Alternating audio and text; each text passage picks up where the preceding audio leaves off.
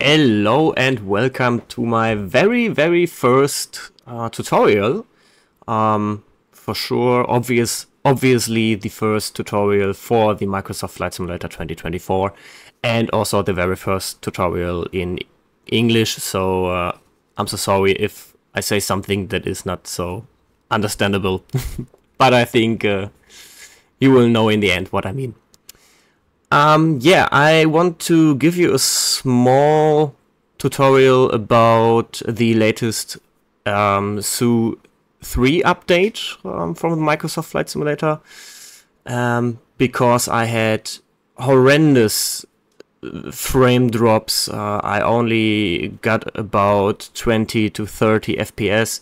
Before the update, I had nearly 50 FT, uh, FPS and um, yeah, I'm here to show my way to um, to fix this problem. I did multiple things to achieve a smooth running simulator again, um, and also in the end I could crank up my graphic settings a lot.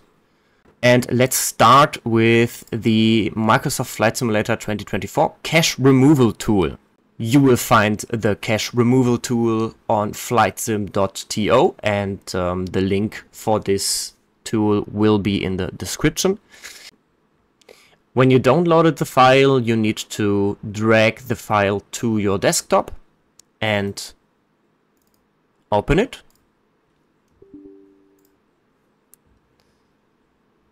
So after you open the tool, um, the program or the tool will remove all the caches, the graphic caches that your PC has. So after it's done, it will write it, press any key to close this window. Press any key to close this window. For me, this was the most important step already. The next step, obviously, is to have your um, graphic cards, all the um, latest updates installed. So the next step on the list is we need for AMD users only, again, the AMD Adrenalin Edition. After you opened up the AMD Adrenalin Edition program, you will see this view be sure that you set your, your performance setting of your PC to power and not on quality or whatever the other stuff is. Just set it to power, the power setting here on the left. On the right side, we find updates and we click on the red button. Updates, a window pop up. Yes, we want to update.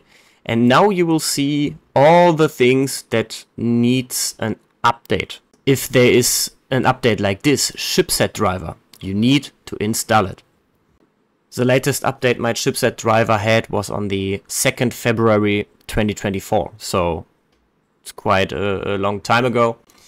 And just make sure that you download especially the chipset drivers. And that's mostly it. The fixes will be applied after you restart your PC. So yeah, that's basically it for this tutorial. I hope you enjoyed it and I hope I could help you a little bit um, to gain your performance back on your PC. And leave a like and follow if you enjoyed the tutorial. Bye bye!